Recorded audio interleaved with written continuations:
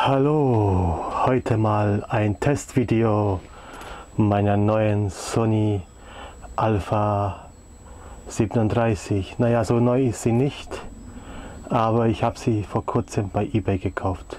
Ganz günstig. Nun ja, so ganz günstig nun auch wieder nicht, aber günstiger als im Laden.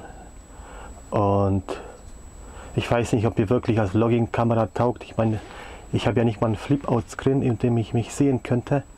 Ich zeichne jetzt äh, mit einem externen Mikrofon auf. Ähm, ja.